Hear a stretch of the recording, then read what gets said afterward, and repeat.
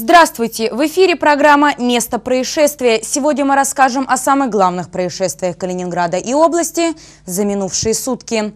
В студии Елена Кивенко. Смотрите сегодня в нашем выпуске. ЧП в маршрутке. Госавтоинспекция ищет свидетелей происшествия.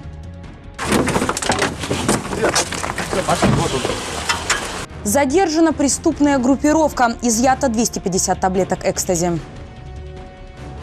Очередная взятка. Сотрудника административно-технической инспекции взяли с поличным.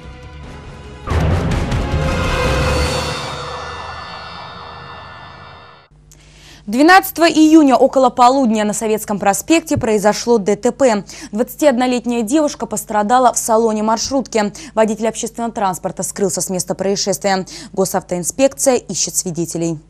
Информация о происшествии поступила из БСМП, куда молодая девушка поступила с многочисленными травмами и ссадинами. 21-летняя калининградка зашла в маршрутку, но не успела сесть на свободное место. В этот момент водитель резко тронулся. Девушка не успела схватиться за поручни и упала. Водитель сразу высадил пострадавшую и уехал. Госавтоинспекция просит всех, кто стал свидетелем инцидента, позвонить по телефонам, которые вы видите на своих экранах, или сообщить подробности по электронной почте ОГИБДД.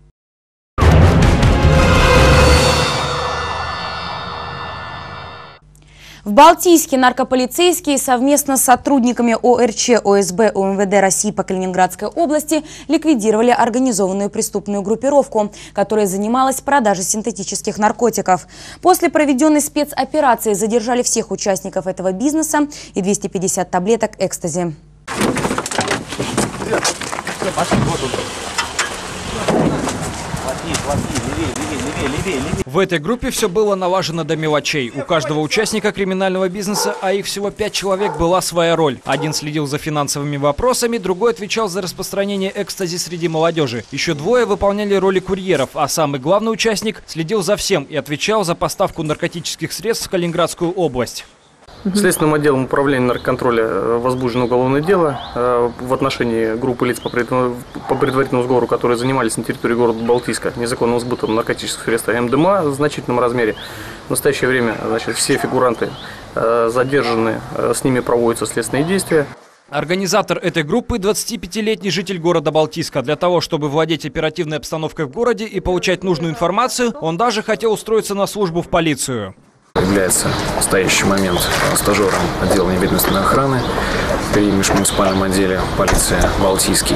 Оставаясь на свободе, подозреваемый может скрыться от органов следствия суда, продолжить заниматься преступной деятельностью, оказать давление на других соучастников, э, на свидетелей по уголовному делу, либо иным образом воспрепятствовать производству по уголовному делу.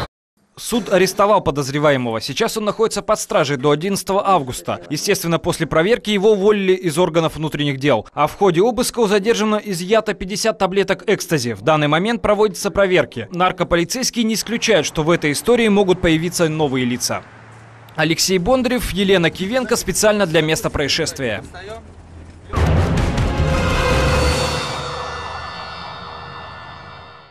26-летний сотрудник административно-технической инспекции задержан при получении взятки. Операцию провели сотрудники Управления экономической безопасности и противодействия коррупции УМВД. Мужчину задержали в его собственном кабинете. Сумма взятки составила 4000 рублей. Деньги молодой специалист получал за то, что не составлял административные протоколы, выявляя нарушения при размещении рекламы. Сейчас решается вопрос о возбуждении уголовного дела. ОМВД России по Калининградской области просит граждан, которые могли пострадать от подобных действий, обратиться по телефону, который вы видите на своих экранах.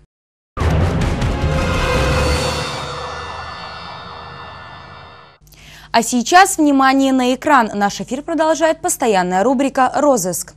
Полиция разыскивается мужчина за совершение преступления, предусмотренного статьями 30 и 132 Уголовного кодекса Российской Федерации «Насильственные действия сексуального характера».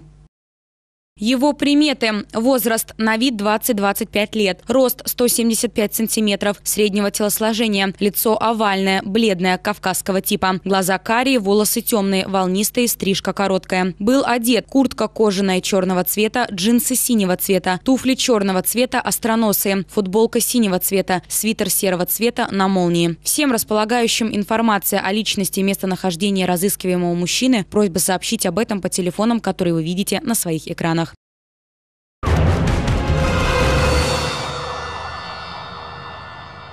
И на этом все. Если вы стали очевидцем происшествия или сами попали в беду, звоните к нам в редакцию по телефону 91 94 04 или пишите на наш электронный адрес канал 1 собакамейл.ру.